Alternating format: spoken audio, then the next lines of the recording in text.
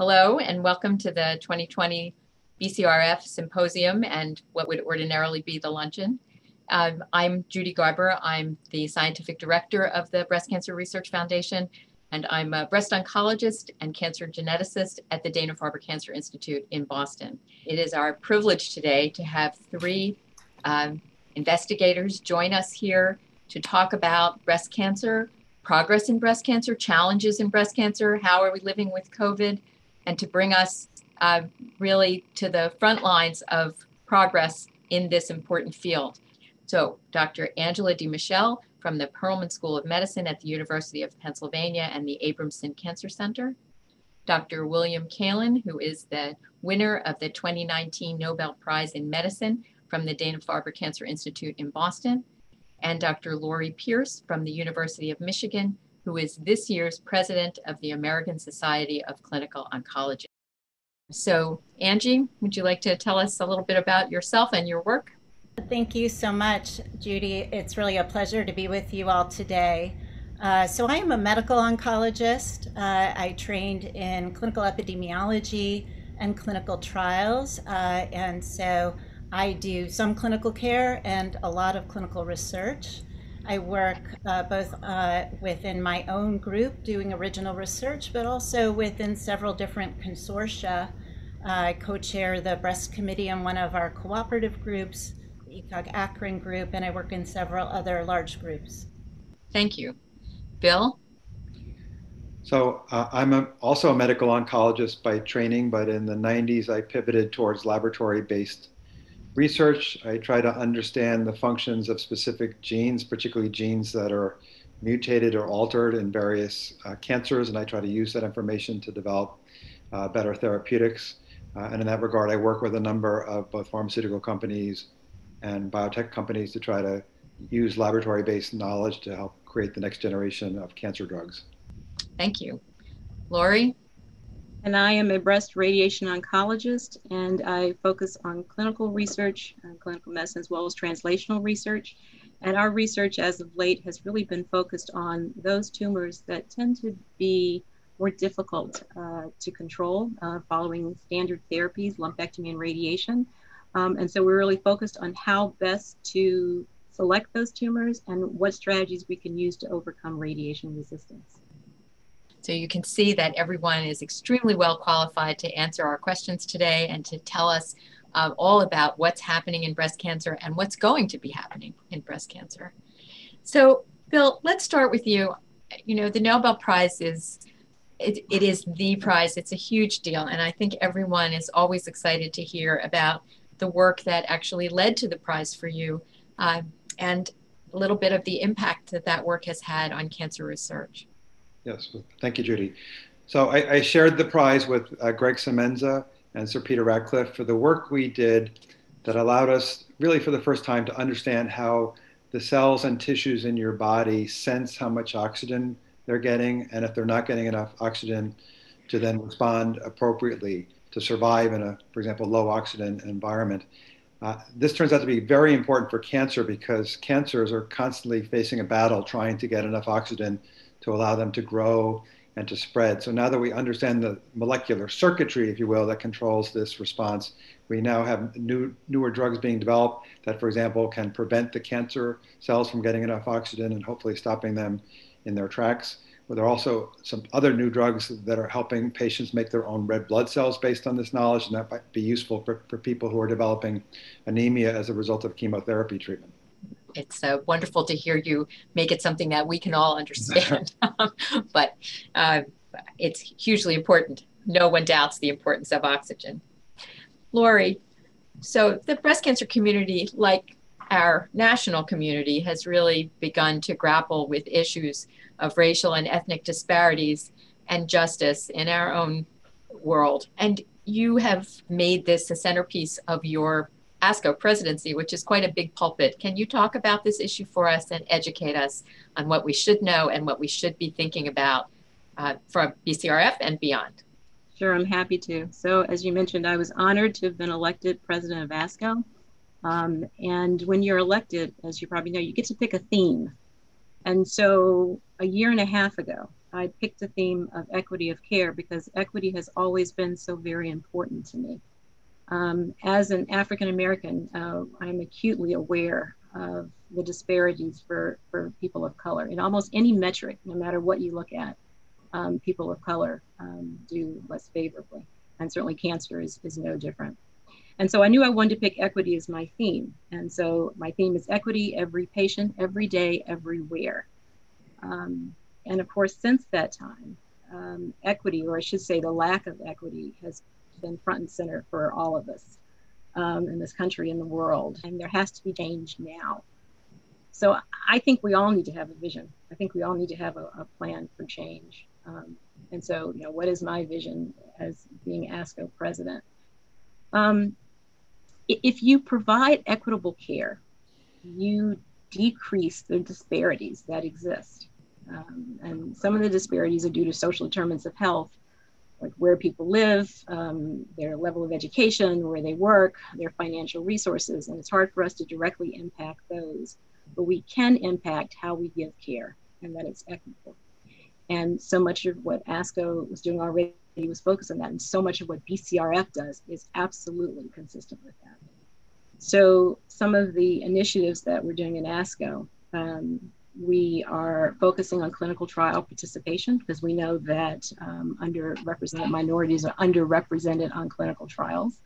And we have a uh, initiative with the Association Community Cancer Centers, ACCC, that's also focused on equity uh, in um, bringing minorities on clinical trials. We're working on that together. And so that's a very exciting initiative. We're learning more about social determinants of health, and we're doing that in a space to educate um, our fellows and our junior faculty because they are the leaders of oncology of tomorrow. And we're also focusing on bringing more providers of color um, in bringing more students of color into oncology. Um, because we know that African American Hispanic providers are, are, truly underrepresented, and perhaps patients of color would feel uh, easier interacting with providers of color. And to that point, BCRF is working with us on that um, they the BCRF funding that goes to the trainees for Conquer Cancer ASCO um, will now be dedicated to disparities research. So altogether, we are collectively um, working together to decrease disparities and improve our patient outcomes. That's great. Lori, that is a huge undertaking and a task that's certainly worthy of all of the attention that you're giving it. Thank you. Angie, you have taken on a very difficult part of breast cancer care in the treatment of metastatic disease uh, which is so challenging. Trying to prevent metastatic disease and then trying to manage metastatic disease. Do you want to talk to us a little bit about your thoughts about where we are and what you are finding most exciting at this time? Yes, well, Judy, you know, we've made so much progress in the last 40 years in our therapies for newly diagnosed breast cancer, and that's led to many women being cured of their disease. But um, as any woman who's been diagnosed knows, there's a lot of activity initially to take care of that cancer when it's first diagnosed surgery, chemotherapy, radiation. And you get to the end of that, and the hope is that, the, that you're cancer free. Uh, however, I think as a practicing medical oncologist sitting with women who are at that stage of treatment, you know, there were so many questions. How do I know that the treatment worked? And how do I know if the cancer will come back? And I think what's really exciting is that uh, the laboratory scientists have really uh, taught us a lot in the last, I would say, five years about what it is that actually leads to a recurrence. So we now know that there are very specialized cells that can leave the breast that are resistant to those initial therapies these cells can travel in the bloodstream and ultimately, ultimately make their way to the bone marrow, where they can essentially go to sleep. And these sleeper cells can stay there for months or years or even decades. But something then causes them to awaken and to travel to other parts of the body. Uh, my research is part of a translational center of excellence, which means that I work in translating that work from the basic scientists in the laboratory who have figured out these mechanisms to then try to bring that into the clinic. We can do that now with some new technologies that enable us to measure the fragments of tumor DNA in the bloodstream to let us know if there are still microscopic cells around. We can also look in the bone marrow to see if those cells, those sleeper cells, are there. And uh, working with my partner in this effort, uh, Louis Chodosh, we've identified several different drugs that can actually attack the sleeping cells. Those cells aren't dividing, and so they are very different than the typical breast cancer cells that are in the breast when you're diagnosed. They need different drugs. And so the laboratory work that actually was funded by BCRF and Dr. Chodosh's lab to help us identify some of these new drugs now is funding a clinical trial BCRF is supporting where we'll be screening women who have finished all of their treatment, are now a couple of years out from finishing that, who will have a sample of bone marrow taken to look for the sleeper cells. And then, if those cells are there, we have the opportunity to give these women treatments. And these treatments vary from drugs that'll attack the cells themselves, but also we're looking at how we can help the immune system actually recognize that these cells are present. Because ultimately, it's a failure of the immune system to clear these cells. And so, new immunotherapy approaches give us the opportunity to help the immune system recognize that these microscopic cells are there and hopefully clear them from the system before they ever can cause a recurrence or a metastasis. So, you know, that ultimately, I think, for many of us feels like the last frontier in terms of how we can close that gap and ultimately cure every woman who is diagnosed with the disease. And it also gives us an opportunity to develop tests that can help us to monitor a woman who's had breast cancer. So rather than simply wondering if this is going to come back, ultimately we would love to have the ability to look for these cells so that when you come into the doctor's office, there's a test that you can do that would help us know do you have any cells around that we could take care of? And that's a much more proactive approach than what we currently have available. Much of this is still in the investigational phase, but I think it's wonderful that BCRF has recognized how important this is and is funding research in this area in many different laboratories and clinics around the country. Thank you. That certainly is exciting, and we are thrilled to be part of it with you. Lori, what's going on in radiation oncology and what's new and, and you think will impact our high risk patients? When we generally treat patients following a lumpectomy, we treat the whole breast with radiation and then for those patients who would benefit from an additional boost, we give a boost to the tumor bed. Um, but we've learned through the years that um, the outcomes are exceptionally well, um, particularly in some patients, to the point that we may be treating too many patients. There may be a way to select those patients that perhaps would do well and, and be safely uh, treated just with the surgery and systemic therapy and, and not need radiation. Because radiation, while it's well tolerated, there are side effects. And so if you can minimize those side effects by being clear for who needs to be treated and who doesn't, then that it's great for, for all of us.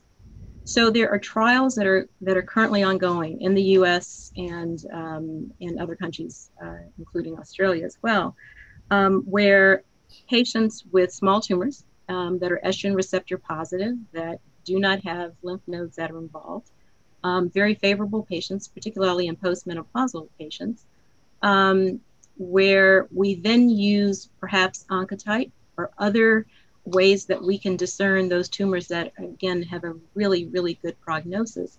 And we are omitting radiation and we're following them very carefully to see that if, with those selection criteria, we can arrive at a group of patients that will be successfully treated even in the absence of radiation. Just recently, there were two large trials, one from Florence and then the really large trial from the US, looking at patients getting whole breast radiation versus others just getting partial breast, where just a portion of the breast is treated.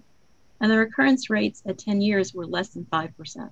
So, so clearly, that is a group of patients that we know that um, are successfully treated with just treating a portion of the breast and not the whole breast, and that leads to fewer side effects.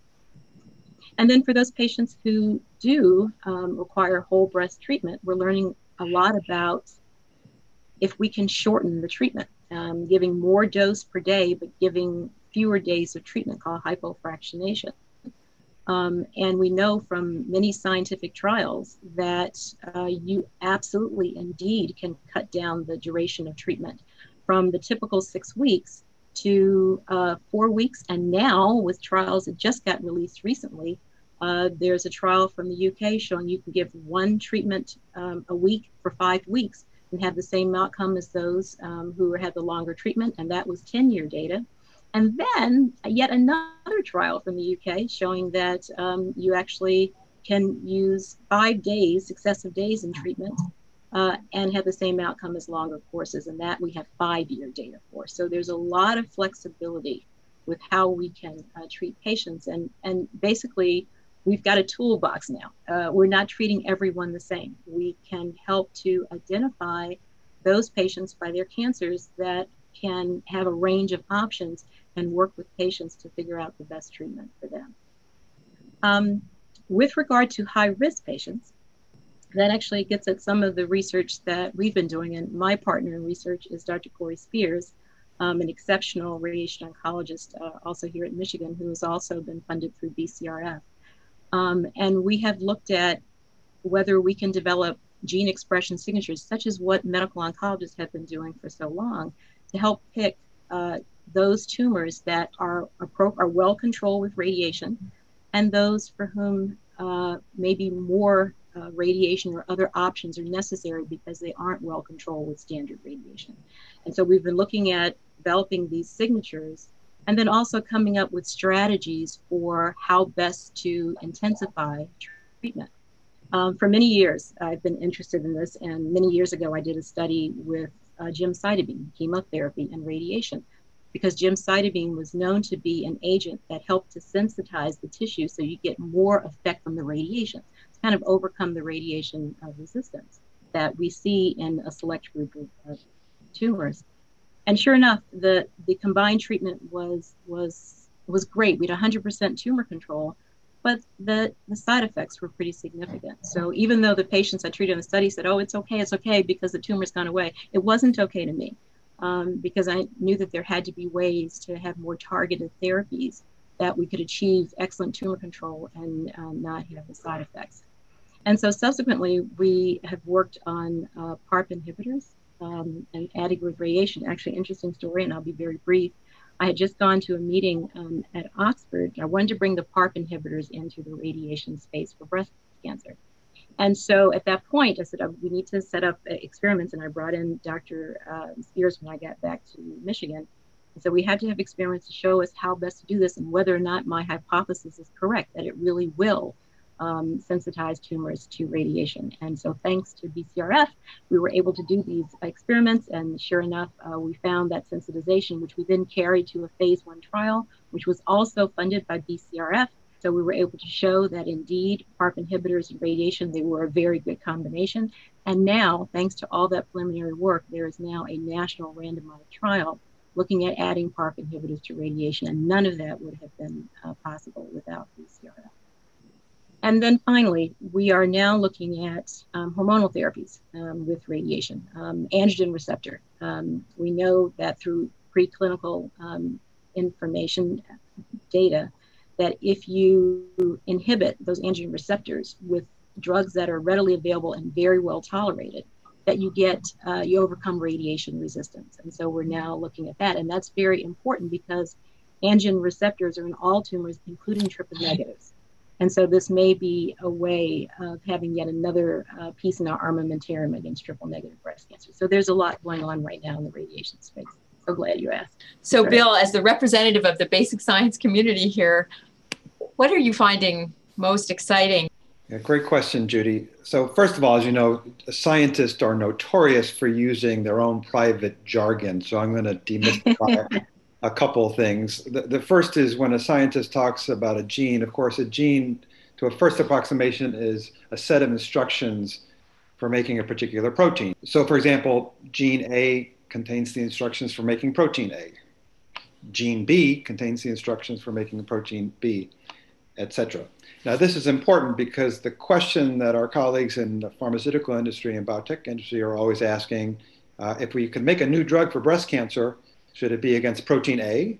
should it be against protein B, et cetera. So that's really the job of the basic scientist is to try to help them understand what are the so-called targets they should be going after to develop their new drug. So I'm tremendously excited because, as you know, for, for the past 20 years, we've had, so first approximation, the, the identities or sequences of all the genes, but that in it of itself doesn't help us very much. We have to understand the functions of those genes, and we have to understand which of those genes are altered in specific cancers. So an analogy I like to use is sort of tumblers on a lock. You can think of any given tumor as sort of like a lock that had several tumblers, with each of those tumblers being a alteration in a different gene. And it was only when the right combination of genes were altered that that cancer could evolve. So now, as you know, with rapid advances in sequencing, for the first time, we can fairly quickly look at a particular tumor, find out exactly which genes have been altered, what were those tumblers, if you will, that led to that particular cancer, which really helps us inform, uh, pre- you know, a precision medicine approach of matching the right drug with the right tumor, or put another way, with the right patient. Uh, secondly, we have m- much more powerful tools now for identifying, in the end of the day, which genes does a particular cancer care about the most for its survival? Uh, we sometimes refer to these as sort of dependencies. Uh, and again, that's incredibly valuable information for our colleagues in the pharmaceutical industry. And so, in thinking about it, I think it took literally decades to figure out that at least a subset of breast cancers cared deeply about the estrogen receptor, which of course is the target of tamoxifen. Uh, with today's technologies, you would have figured that out in less than a week. So I think that gives you some sense of how quickly things have changed. Uh, that's partly because of a new technology called CRISPR that some of the members of our audience might have heard about, which allows us with really unimaginable precision to go in and alter specific genes to begin to understand, first of all, what their normal functions might be, but secondly, to find out again whether certain cancers depend on those genes. So that's revolutionizing our ability to identify potential new targets in various cancers, including uh, breast cancer, and to try to take some of the guesswork out of drug discovery. When I, when I was starting out, a lot of drugs were discovered by sprinkling them on cancer cells and hoping some of the cancer cells died.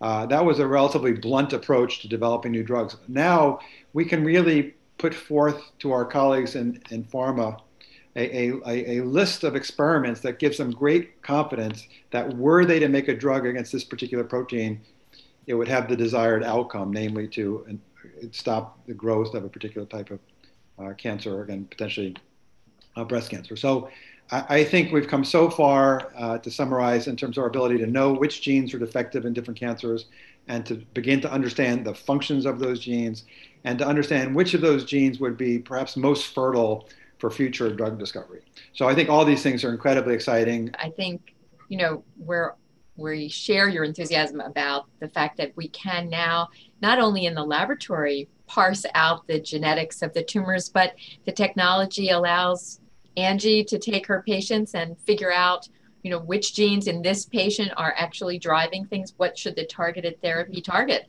Uh, and that can be done clinically. So by the time it gets to a clinical place, it's yes. been perfected in the lab and adapted in the clinic and on the tumors and in the cell-free DNA that's circulating so that that we not may not even have to get to the tumors. So here's Lori's got us thinking about ways we can cause less harm or do things in easier ways. Um, right now, we have to look at the bone marrow. Someday, maybe we'll be able to find those same cells circulating. Um, I think the Founders Fund was a place where BCRF said, and Larry said, you know, we have to know about metastatic disease. We have to be able to sequence these tumors, and that's what that money has been used for. So I, I think we all share your enthusiasm for that, and that as an example with CRISPR for the ways that technology lets us move forward. Mm-hmm. Angie, with research, where are our best opportunities? And what if we can't follow them? What's going to happen? You know, it's been an incredible couple of years in breast cancer drug development uh, in particular. And, you know, for women who have metastatic disease, we actually have a wealth of new agents that really came about because of our understanding of the genetics of breast cancer, as Bill discussed, and so, you know, we have seen new drugs for um, HER2 positive breast cancer. We now have a drug called tucatinib that actually can cross the blood-brain barrier and help prevent help to treat women whose breast cancer has traveled to the brain. We've never had a drug in HER2 positive disease that could do that. In triple negative disease, we have the advent of immunotherapy, and we're starting to finally see some great results uh, in bringing checkpoint inhibitors that have been so successful in other cancers into breast cancer uh, so that we can help uh, the immune system recognize these tumors and work with chemotherapy to eliminate them. And we have drugs in uh, both HER2 positive and triple negative disease that are these new antibody drug conjugates. So we can take an antibody that actually docks to the cancer cell, link it to a chemotherapeutic so that that's, that payload is essentially brought right into the cancer cell. That's led to uh, a, the approval of a drug called sacituzumab for triple negative disease that has a high response rate. This is the most exciting drug we've seen in triple negative disease for a very long time. We've also got that in HER2 positive disease, and actually, we're now starting to see maybe even tumors that aren't covered in HER2 aren't those high HER2 positives, but even tumors that have even less of the HER2 could take advantage of this docking ability from these antibody drug conjugates. So these are these are monumental changes that are giving months to years of life to women who have metastatic breast cancer and these targeted treatments have much less toxicity than chemotherapy that we used to give in the past.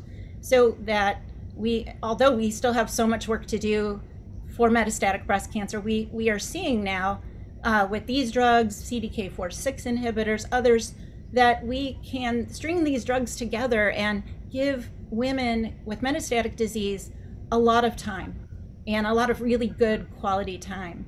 And I fear that if we lose this momentum, we lose this pipeline from the laboratory to the clinic to ultimately run the trials that are going to be able to show that these drugs can work and get them out to patients that we're going to lose this wealth of knowledge that's coming out of the lab and we're not going to be able to capitalize on that and we're going to really stop this amazing progress that we've had with all of these new drugs over the last few years. And it, it takes time to do clinical trials and um, it really takes a lot of infrastructure which we have built over decades and so we we can't lose that uh, that momentum and infrastructure because we really will lose the whole next generation of treatments if we can't keep that going.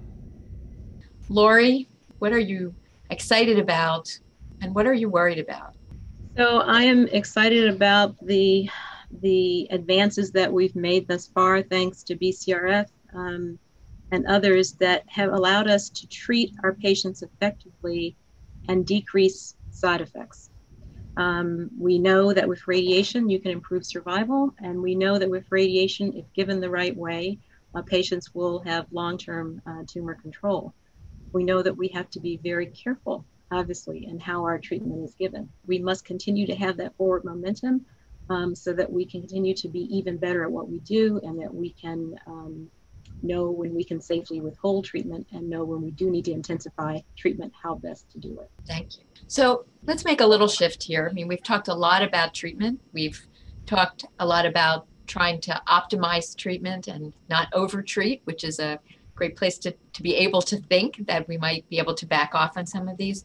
But one of the wonderful things that, that lets us do that is that we have a lot of breast cancer survivors. And of course, women who are surviving, you know, they're grateful, but many of them live with long term consequences of our treatment. And at least one of our audience is particularly interested in what we are doing to think about this challenge.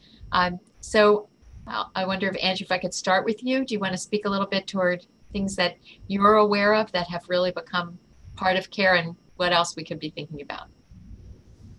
Yes, I think we we have now recognized that women who uh, who are survivors have unique needs. Uh, that the experience of breast cancer and its treatment doesn't end when the treatment ends, and so there's been a, a really uh, large effort now to focus on many of these long term side effects, particularly effects to the heart that both our drugs and radiation can have. Uh, so there's a lot of work now to try to understand uh, whether there are markers uh, in the blood that, or even by echo, that could tell us whether a heart is suffering effects later on, so that we could start to intervene and prevent heart problems for women later on. We have work going on for this issue of chemo brain that I know so many women really um, struggle with, and it's something we don't really understand very well. Uh, whether it's an effect of the chemotherapy or maybe in part an effect of the hormone loss, uh, the loss of estrogen that comes along with our therapies. There's a lot being done right now to really try to understand this, uh, as well as other side effects of estrogen withdrawal, which I think are the biggest effect on patients' uh, quality of life the flashes, the joint pain. Uh, these are things uh, that I, I, I, hear, you know, day in and day out that are just so bothersome, so difficult, and get in the way of function. And so there's a lot of research going on. In fact, last year we had wonderful trial showing us that acupuncture uh, could uh, actually in a randomized trial where half the women got acupuncture and half of the women got what was called sham acupuncture, actually sort of needles that didn't really work, but really made the patients, you know, feel like they were getting it, really showed that acupuncture made a difference in some of this long-term pain. And so we're really starting to think about not just drugs, but also alternative therapies that might be useful for these side effects. And then, as Lori touched on, I think the other really important thing is we're starting to realize that maybe the best way to take care of these long term effects is to prevent them from happening in the first place by seeing where we can eliminate some of the most toxic drugs. So, adriamycin, you know, the red devil, that's that drug, um, you know, really has a lot of long term side effects, including heart effects and bone marrow effects. Um, and now, with these targeted agents that we were talking about earlier, we're seeing that those agents are so effective that we may actually start to be able to take away some of the more toxic, less focused, less targeted agents, the chemotherapy, and still see excellent outcomes. And so we launched a trial this year called COMPASS that is looking to eliminate adriamycin from the initial regimen in women with HER2 positive disease, but we're also looking at this in other subtypes of disease. And lastly, I will just say that the, the, the other thing that is still on the mind of many women, particularly with ER positive breast cancer, is this ongoing risk of recurrence, as we talked about. And we're starting to think about late recurrence, about what happens after five years of endocrine therapy, of the anti-estrogens, and planning trials that will actually utilize some of these new technologies to help us find women who might still be at risk five or ten years down the down the line and are there agents and drugs that we can use then to help prevent their risk. So things that we can do, you know, really many decades beyond the, the diagnosis that'll help quality of life.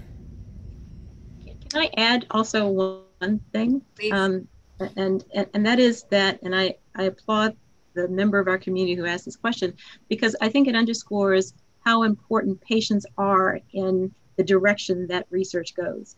You know, if I had to think about how um, trials were written many years ago, I don't want to date myself, um, there was not a patient reported outcome piece. And now patient reported outcomes are such an important part of our trials so that we get that feedback and we know the issues that really matter to patients. And that clearly has colored our approach going forward.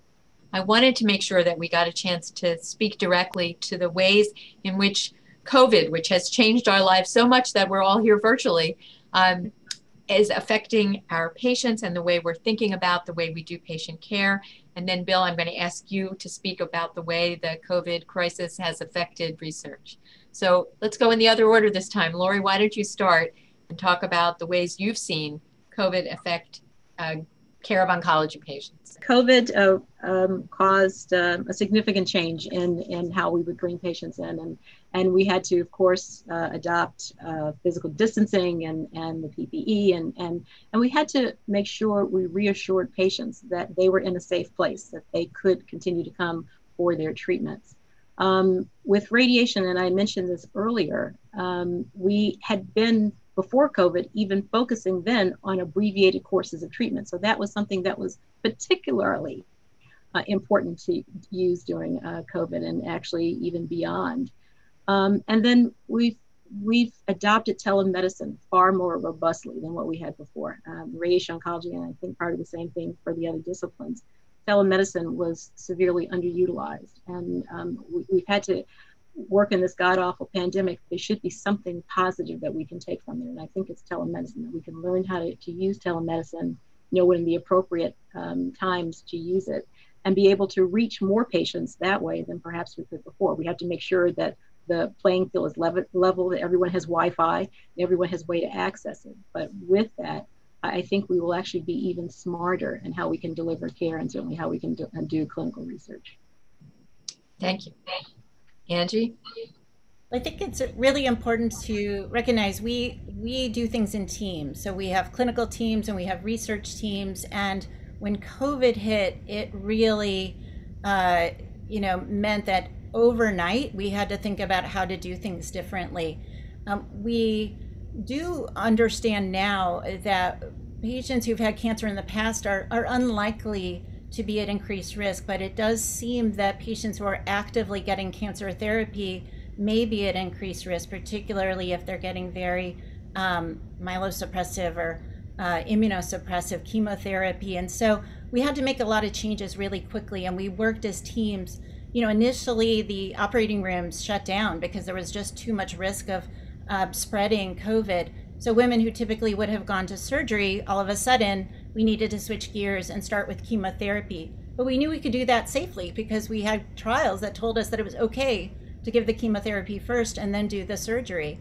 And so we were able to adapt by working as a real team on the clinical side to find ways that we could do things safely for patients, minimize their risk, use, you know, um, space out the time between doses, use boosters like the growth factors to make sure the blood counts didn't get too low, and really help women get through this because clearly breast cancer wasn't going to stop just because COVID hit.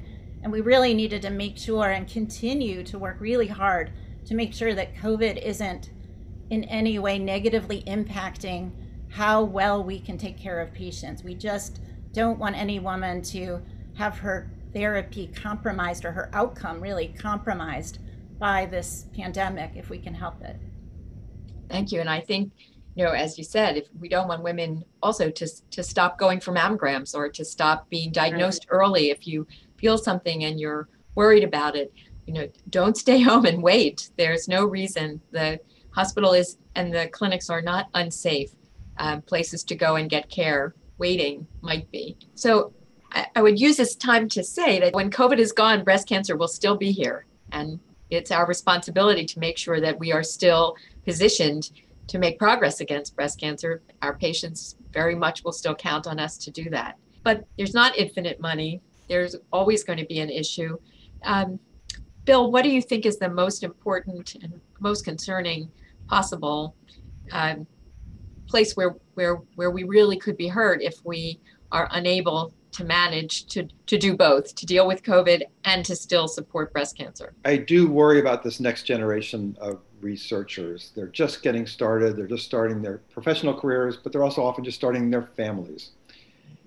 And and you know it's like we've enlisted these wonderful people uh, to, to, to join a battle, but I want to make sure they feel like we have their backs and that they're properly equipped so I just think it's so important we remember uh, the young people who we've had the good fortune to enlist in this battle against uh, cancer and make sure they're properly uh, funded. I, I, couldn't be more excited about the possibilities if we get this right. We now have this fourth modality, immunotherapy, to add to surgery, radiation, and medicine. And I think we're in the early innings of what that's going to be able to do for us. And I think we're just beginning now with these new tools to be able to tell our pharmaceutical colleagues, you know, the next generation of targets should be the following proteins. And if we inhibit these proteins, it's going to dramatically change outcomes in this disease. And the final thing I will say that, again, I'm preaching to the choir. You know, we've known for decades that to cure a disease as complicated as breast cancer, we're going to need effective combinations of drugs, each of which is active in its own right and each of which has hopefully a distinct mechanism of action. And you can just see it happening. We're just about to get there. We have, we have some wonderful agents that are now being used as single agents or not quite yet in the right combination. You can see it. And so uh, I just, I can taste it, I can feel it. I just hope we get there. Thank you.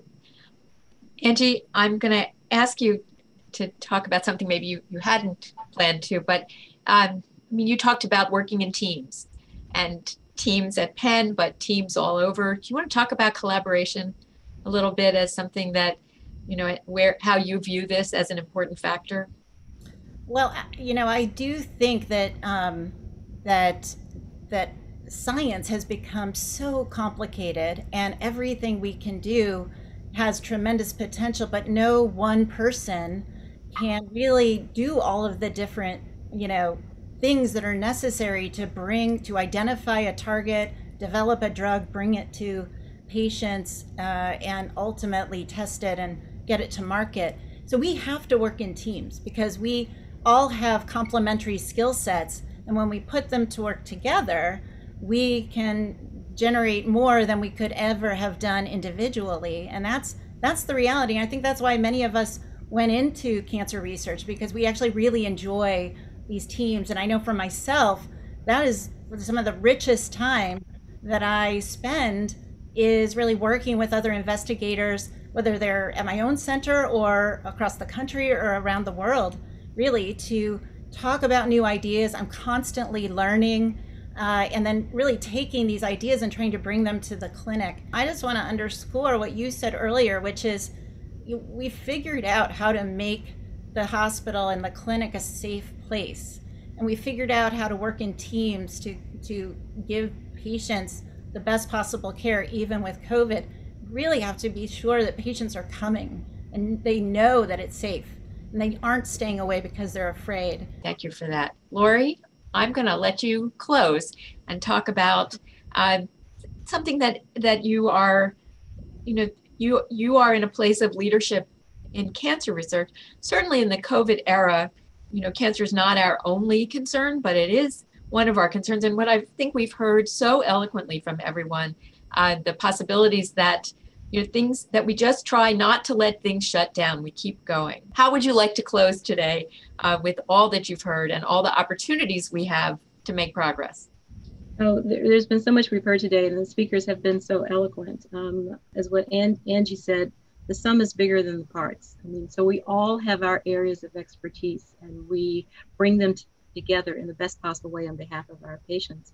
And we need to have continued funding. We need to continue to have that positive momentum. Yes, um, we all know that uh, COVID was a major bump but we are recovering and we are moving forward and we want to continue that momentum. We don't want to lose the next generation of researchers, um, both laboratory researchers and clinical researchers and, and clinicians. Um, we, we need to continue to have the funding so we continue the forward movement so we can continue to do the very best we can for our patients. And so I, I thank BCRF for all the funding you've provided. I, I thank BCRF for the funding you will provide um, and we will we will we will beat this virus and we will beat this disease. Thank you. I'm sure that everyone would agree that you know we, we are we have more than 200 amazing investigators in BCRF, but we could hardly have done better than the three we've had with us today, trying to teach us all about breast cancer, to help us understand where are we going, where do we need to go, to make us see that we have tremendous opportunities to continue to move forward. And our patients expect and demand that we will do that for them, and we all want to. We are always grateful for the opportunities to learn from each other and work together. We thank BCRF for that as well. So, thanks for being with us today, and thanks for a, a wonderful uh, set session today. Uh, thanks to you all.